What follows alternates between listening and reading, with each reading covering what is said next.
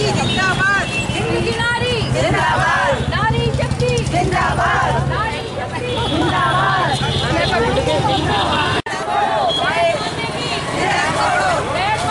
ये आयोजन हम लोगों ने जो बच्चियाँ होती हैं और जो औरतें होती हैं उनको सुरक्षित महामारी के बारे में बताने के लिए ये हम लोग आयोजन कर रहे हैं उनको एजुकेट करने के लिए। सेफ़ मेंसेस के लिए और सेफ़ नेपकिन के लिए।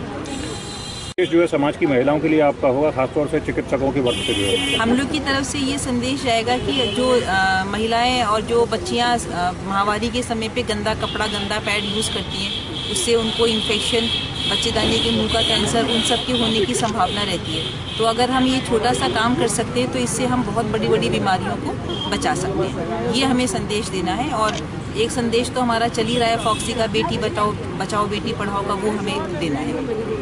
मैम कहाँ से कहाँ तक आज की रैली का आपका ये रैली हमारी हबीब गार्डन से शुरू होकर आशा हॉस्पिटल तक जाएगी। रन फॉर नाइन कर रहे हैं। ये हम पब्लिक को ये बताने के लिए कर रहे हैं कि अब हमारी सरकार की तरफ़ से और बहुत से स्वयं सेवक लोगों के तरफ- तरफ़ से ये प्रचार होना चाहिए कि अब बच्चों के लिए लड़कियाँ जो हैं और औरतें हैं, उनको सस्ते सैनिटरी नैपकिन्स मिलेंगे। इस बात पे ऑलरेडी चर्चा हो चुकी है कि इसको एक मेंसेस को एक टैबू माना जाता था।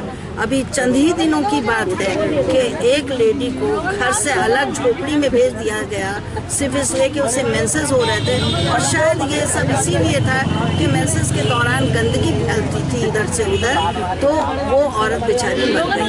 तो इसलिए आप सोचिए, इतने गंभीर मामला भी इसके साथ, इसके जो मेंसेस के साथ गंदगी होती है, उससे रिलेटेड हैं और इन्फेक्शन वगैरह की ऑलरेडी बात हो चुकी है तो हम इसका प्रचार करना चाहते हैं कि सस्ते नैपकिन्स लें और बच्चियों को और औरतों को प्रोवाइड करें और कोई गंदगियाँ ना हो, ताकि इसको एक टैबू की तरह ना लिया जाए। होना चाहिए जहाँ पर वो ये अपना डिस्पोज ऑफ़ कर सकते हैं और अपने आप को साफ़ कर सकते हैं। और ये हर स्कूल में एक ज़रूर होना चाहिए एक बाथरूम की फैसिलिटी और जहाँ पर वो जो सैनिटरी नैपकिन्स भी वहाँ पर सप्लाई फ्री होना चाहिए और if not at least at a very subsidise rate पे ये होना चाहिए। ये हम लोगों का ये है हमें अवेयर करना चाह रहे हैं मैडम क्या नाम है आपका और किस पद पर हैं? जी?